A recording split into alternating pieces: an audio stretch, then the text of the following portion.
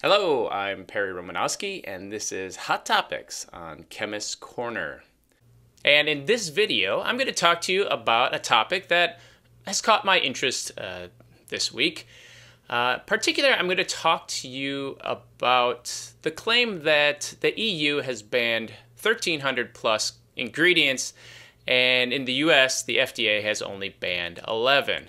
Let's first talk about why does anyone make this claim? So you see this kind of claim uh, made by NGOs, uh, non-governmental organization, places like the Campaign for Safe Cosmetics, the Environmental Working Group, and, and groups like this, whose sole purpose is, as, as they think, to inform consumers about the dangers in their cosmetic products. This information gets passed on to beauty bloggers who then take up the challenge to uh, to save everybody else, I guess. So the idea that there are 1,300 plus banned ingredients in the EU, uh, the reality is that in fact is true, and it is true that the FDA has only banned uh, about 11. There might be a couple more, but it's but it's certainly a lot fewer. And the implication by that claim is that the products in the EU are obviously safer, and the FDA isn't doing its job because it's not banning ingredients that other countries find harmful. Now, let me tell you why uh, this claim is just ridiculous fear mongering and it does not really reflect the reality of the cosmetic industry and the safety of ingredients. So let's first look at that claim. 1,300 uh, ingredients are banned, in the US only 11. What you have to do is look at what are those 1,300 ingredients that are banned. Uh, if you look at the list, and I can provide a link to the list in the notes on this, if you look at the list, the ingredients are uh, drug active ingredients. They are a lot of ingredients used in the production of petroleum.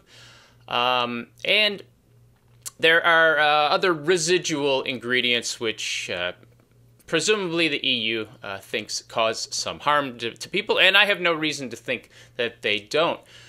But what you don't find on that list of banned ingredients are any kind of ingredients that would be used in cosmetic products. That's right, they're banning ingredients that we wouldn't use to formulate cosmetics. So it's really it's an irrelevant ban because you're just banning something that nobody uses anyway. And in fact, if you look at the products that you can buy in the EU and the products that you can buy in the United States, there's really no big differences between the two. A lot of the regulation uh, suggestions in the United States and those in the EU uh, sort of match up with what industry is doing. And so you might think that, well, the EU has banned all these ingredients, their products must be safer, but indeed, there's no evidence, and in fact, it's not true, that the products in the EU are safer than the products that you can buy in the United States. Uh, they just aren't. In the United States, it's illegal to sell unsafe cosmetic products.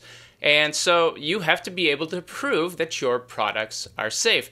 And the way that you do that is, you know, you, you, you run safety testing or you use products or ingredients that are found in the INCI dictionary and that have been determined to be safe by the Cosmetic Ingredient Review Board, the CIR.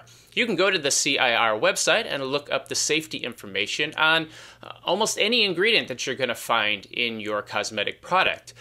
The EU has their own system for ensuring ingredient safety, and that's uh, the SCCS, um, the Scientific uh, Committee on Consumer Safety.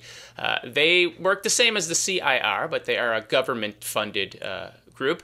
But if you look at the results of both groups, the CIR and the SCCS, there really aren't measurable differences between the recommendations that they make for cosmetic products. And so, for that reason, you find a lot of the ingredients, the same ingredients that are used in the United States, are used in the EU, and from that are used around the world. Now, there are some differences with what colorants are approved and what levels of preservatives are approved. But really, companies that make products for both the United States and the EU, they just follow the EU rules anyway because they're international and the EU rules are a little more clearly laid out about what you can do.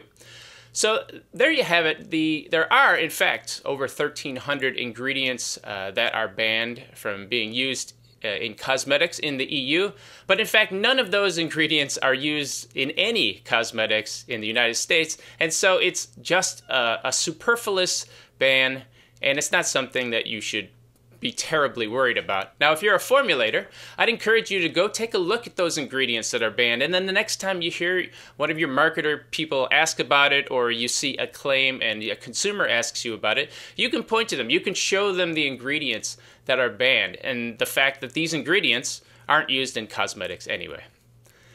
That's all I have for today. Thanks for listening. I'm Perry Romanowski, and if you have any comments, please leave them below.